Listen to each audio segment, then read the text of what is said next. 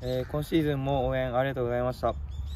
えー、今シーズンはなかなかうまくいかないことがたくさんありましたけど、えー、ファンサポーターの皆さんの声援のおかげで自分たちはプレーできていると思っているので、え